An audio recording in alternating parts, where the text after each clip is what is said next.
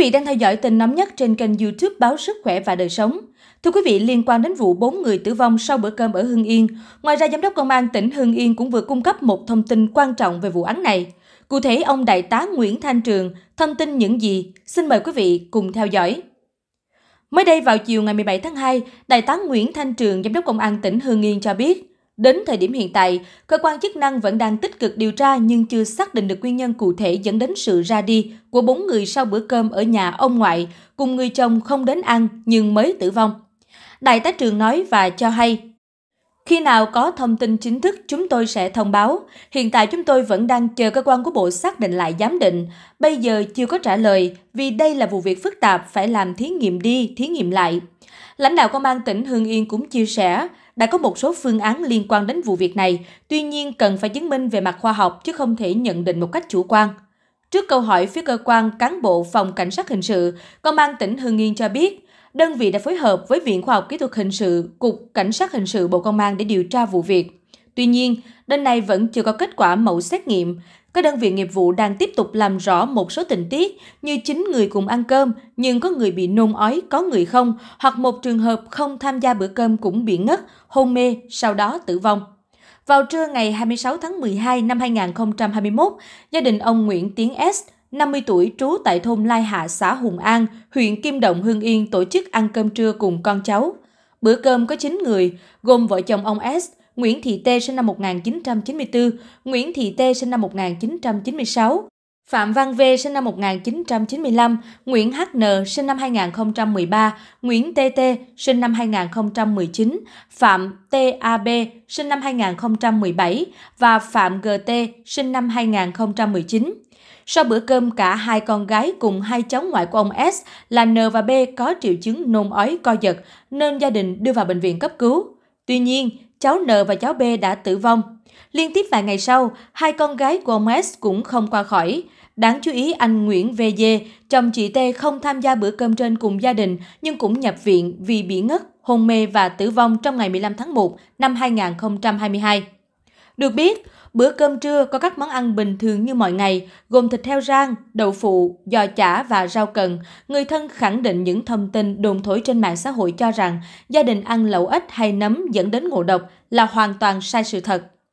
Tính đến thời điểm này, các cơ quan chức năng vẫn đang tích cực điều tra làm rõ nguyên nhân khiến con cháu tử vong sau bữa cơm trưa ở nhà ông ngoại xảy ra tại huyện Kim Động, tỉnh Hương Yên.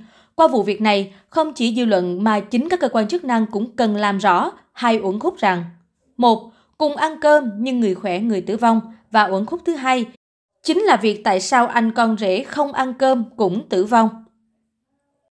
Đi sâu vào tìm hiểu về uẩn khúc thứ nhất, cùng ăn cơm nhưng người khỏe, người tử vong. Cụ thể, chúng ta cùng bám sát vào vụ việc. Vào sáng ngày 26 tháng 12, bà Nguyễn Thị Thờ, quê xã Hùng An, huyện Kim Động, Hưng Yên, đi mua cục sạc điện thoại thì gặp con gái lớn đã lấy chồng ở xã bên cạnh là Nguyễn Thị Tươi đang chở hai con đi chợ, nên mẹ con bà này đứng nói chuyện. Do đã gần đến trưa nên bà Thờ mời con gái cùng hai cháu về ăn cơm. Trên đường từ chợ về nhà, bà Thờ gọi thêm vợ chồng người con gái thứ hai là Nguyễn Thị Tình đến ăn cơm cùng cho vui vậy. Bữa cơm vội và không có chủ đích nên chỉ có các món ăn truyền thống là thịt lợn kho, chả lợn, đậu phụ, rau cần, trứng sẵn ở nhà. Hôm đấy tôi chỉ là vô tình gặp con rồi mời con về nhà ăn cơm, chứ không có chủ đích ăn uống gì cả và bữa cơm cũng không có món gì đặc biệt. Mọi lần các con tập trung đông thì cũng mua nhiều món về ăn, nhưng hôm đó thì không có gì. Bà thờ kể về bữa cơm trước khi đại họa ập xuống. Căn bếp mọi người nấu ăn rộng khoảng 10 mét vuông, không có đồ đạc gì giá trị ngoài chiếc bếp ga đã cũ cùng hơn 10 bộ bát đũa, 3 đến 4 chiếc son. Theo trí nhớ của bà thờ, từ lúc đi chợ về đến khi cả gia đình ngồi ăn cơm, không có ai đến nhà chơi và mọi người cũng không có biểu hiện gì lạ. Bữa cơm gia đình ngày hôm đấy so với những buổi cuối tuần thì khác chỉ thiếu có một người là anh ngờ vờ dê, chồng chị Tươi, do anh này đi làm hộ cho người thân ở tỉnh Thái Bình.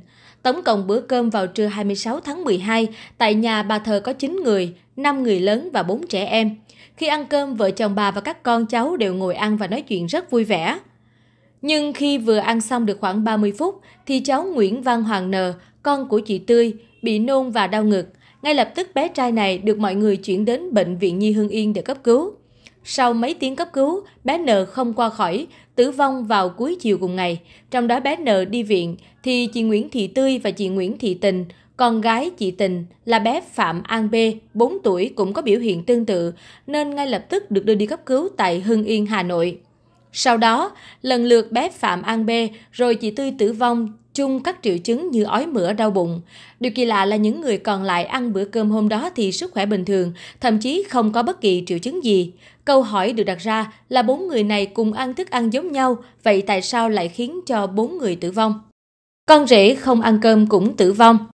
Bữa ăn này có phải là nguyên nhân chính dẫn đến cái chết thương tâm trong gia đình ông bà Nguyễn Tiến Sản, 50 tuổi, trú tại thôn Lai Hạ, xã Hùng An, huyện Kim Động?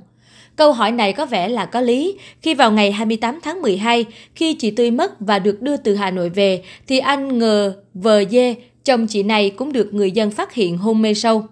Ngay lập tức, anh Dê được đưa tới bệnh viện cấp cứu. Trước đó, con trai mất vào chiều ngày 26 tháng 12, anh này hoàn toàn bình thường và cán đáng việc hậu sự cho con. Sau 19 ngày cấp cứu điều trị tích cực tại bệnh viện ở Hà Nội, đến chiều 15 tháng 1, anh Dê tử vong. Trước cái chết đầy uẩn khúc của các nạn nhân, Công an tỉnh Hưng Yên phối hợp cùng các đơn vị nghiệp vụ Bộ Công an, Bộ Y tế vào cuộc điều tra, làm rõ nguyên nhân. Sau đó, cơ quan chức năng tiến hành khám nghiệm tử thi của hai nạn nhân là Nguyễn Thị Tình và Nguyễn Thị Tươi ở thôn Lai Hạ, xã Hùng An. Nhà bà thờ kinh tế chỉ ở mức đủ ăn so với mặt bằng chung, có thể gọi là nghèo. Vợ chồng bà ở trong căn nhà cấp 4 lợp ngói đỏ đã xuống cấp nghiêm trọng, trong nhà không có đồ đạc gì giá trị. Ngày thường, bà Thơ đi làm công nhân ở gần nhà, còn chồng là Nguyễn Tiến Sản ở nhà. Về gia đình hai người con gái, bà thờ cho biết cuộc sống của vợ chồng tình êm ấm hạnh phúc hơn là nhà chị Tươi.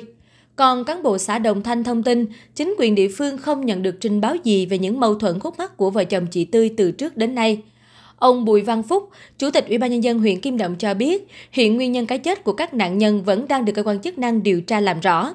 Trước vụ việc, Đại tá Nguyễn Thanh Trường, Giám đốc Công an tỉnh Hưng Yên cho biết, hiện nay các lực lượng nghiệp vụ của Công an tỉnh và Công an huyện Kim Động vẫn đang tích cực điều tra, nhưng chưa xác định được nguyên nhân cụ thể dẫn đến sự ra đi của bốn người sau bữa trưa ở nhà ông Sản và chồng một nạn nhân không đến ăn nhưng cũng tử vong. Theo Đại tá Trường, hiện nay các mẫu giám định liên quan đến vụ việc đã được chuyển đến Viện Khoa học Hình sự Bộ Công an để tiến hành giám định nhưng chưa có kết quả cụ thể. Lãnh đạo công an tỉnh Hương Yên chỉ rõ, trong vụ việc này có nhiều điểm tình tiết rất khó lý giải, nên cơ quan công an địa phương chỉ tiến hành thu thập các tài liệu liên quan, còn tất cả phải phụ thuộc vào việc giám định của Viện Khoa học Hình sự Bộ Công an. Trước cái chết đầy uẩn khúc của các nạn nhân, rất nhiều người đặt ra câu hỏi về nguyên nhân dẫn tới sự việc đau lòng trên và hiện nguyên nhân vụ việc đang được các cơ quan chức năng điều tra làm rõ. Một lãnh đạo Sở Y tế Hưng Yên cũng cho hay vụ việc này đang được cơ quan công an tiến hành điều tra làm rõ và ngành y tế có phối hợp nhưng hiện chưa có kết quả cụ thể về nguyên nhân dẫn đến 5 người tử vong. Vì này cũng nhận định vụ việc có nhiều điểm khó hiểu, chưa thể lý giải, song để tìm ra nguyên nhân cụ thể sẽ phải chờ vào các kết quả giám định của cơ quan chức năng. Giám đốc Công an Hưng Yên lên tiếng vụ 5 người tử vong sau bữa ăn. Cũng trong sáng ngày 17 tháng 1, báo Dân Trí đã đăng tải bài viết Giám đốc Công an Hưng Yên lên tiếng vụ 5 người tử vong sau bữa ăn trưa. Có dẫn lời của Đại tá Nguyễn Thanh Trường, Giám đốc Công an tỉnh Hưng Yên cho biết, đơn vị đang phối hợp với cơ quan chuyên môn của Bộ Công an làm rõ nguyên nhân vụ 5 người tử vong bất thường tại huyện Kim Động, tỉnh Hưng Yên.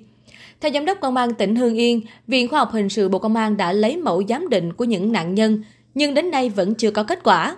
Vụ việc có nhiều vấn đề khi cả nhà cùng nhau ăn, nhưng có người bị, có người không sao. Hiện chưa thể nhận định điều gì cho đến khi có kết quả giám định. Chính vì tính chất phức tạp của vụ việc nên Đại tá Nguyễn Thanh Trường cho biết các đơn vị chuyên môn đang làm việc rất tỉ mỉ và thận trọng. Hiện tại vẫn chưa thể nhận định điều gì cho đến khi có kết quả giám định, do đó người dân cần thực sự bình tĩnh, lắng nghe kết luận cuối cùng của cơ quan chức năng, không được đồn đoán, tự nhận định và đẩy sự việc đi quá xa mức cần thiết. Sự ra đi của năm người thân trong một gia đình đã khiến cho gia đình ông Sản đau đớn và mất mát quá lớn. Ngoài lời động viên, hãy chia sẻ và giúp đỡ gia đình này vượt qua nỗi đau. Khi Tết đến xuân về, những tưởng gia đình ông Sản sẽ giống như bao gia đình khác, được quay quần bên bữa cơm gia đình, chia sẻ những niềm vui nỗi buồn của một năm 2021 đầy khó khăn. ấy vậy mà tang thương nối tiếp tang thương, người tóc bạc tiễn người tóc xanh. Thật chua xót và đau đớn. Ngay lúc này, bà biên tập chương trình xin được thắp nén hương lòng, chia sẻ với nỗi đau mất mát quá lớn đối với gia đình ông Sản. Mong ông bà cùng vượt qua cơn bỉ cực, sống bình tâm và lắng nghe những tin tức trung thực, chính thống từ phía cơ quan cảnh sát điều tra. Chúng tôi sẽ cập nhật những thông tin tiếp theo liên quan đến vụ việc. Xin chào và hẹn gặp lại!